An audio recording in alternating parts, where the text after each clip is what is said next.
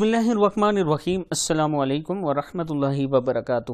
عابد راجہ channel کی طرف سے آج میں اپنے دوستوں کو بہت ہی پیاری حدیث سنانے لگا ہوں۔ اس سے پہلے میں اپنے تمام دوستوں سے گزارش کروں گا کہ اگر ابھی تک میرے چینل عابد راجہ کو آپ نے سبسکرائب نہیں کیا تو ضرور کر لیں، بیل آئیکن پہ کلک کریں اور کمنٹ سیکشن میں اپنی رائے کا اظہار ضرور کیا کریں۔ تو سٹارٹ کرتے ہیں۔ بسم اللہ الرحمن الرحیم۔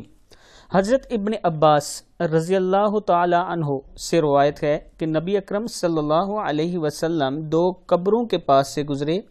فرمایا کہ ان دونوں کو عذاب دیا جا رہا ہے۔ اور یہ کبیرہ گناہوں کی وجہ سے عذاب نہیں دیا جا رہا۔ پھر فرمایا، بلکہ ان میں سے ایک چگلی کھایا کرتا تھا اور دوسرا پیشاب کی چھینٹوں سے نہیں بچتا تھا۔ پھر آپ صلی اللہ علیہ وسلم نے ایک سبز ٹہنی توڑی اور اس کے دو حصے کیے۔ پھر ہر قبر پر ایک حصہ گاڑ دیا۔ پھر فرمایا کہ جب تک یہ خشک نہ ہوگی، شاید ان کے عذاب میں تخفیف ہوتی رہے یعنی عذاب کم ہوگا۔ اب دیکھیں کہ کس وجہ سے ان کو عذاب ہو رہا تھا؟ ان دونوں برائیوں کو، ان دونوں گناہوں کو آج کے زمانے میں گناہ نہیں سمجھا جاتا۔ چگلی تو ہمارے زمانے میں اتنی زیادہ پائی جاتی ہے کہ شاید اگر سو کے، سو بندوں میں سے آپ چھانٹی کرنا شروع کر دیں مطلب کہ آپ ان پر تحقیق کریں کہ ان سو میں سے کتنے بندے چگلی کرتے ہیں، تو آپ کو نائنٹی ایٹ پرسنٹ لوگ ایسے ملیں گے جو چگلی کھاتے ہوں گے۔ اور شاید دو ایسے ہوں گے جو نہیں۔